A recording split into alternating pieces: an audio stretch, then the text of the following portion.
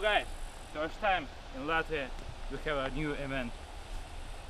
We have a right on the armored trish- visual of Second World War and the tank of Second World War.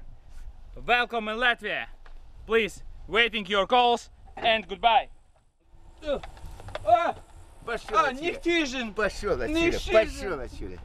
А теперь я скажу, слушайте меня. Вот это все для того, чтобы покатать туристов. И вот это.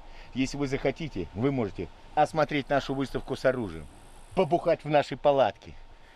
И еще пригласить свою даму и показать, что делают настоящие мужчины. Привет и до встречи!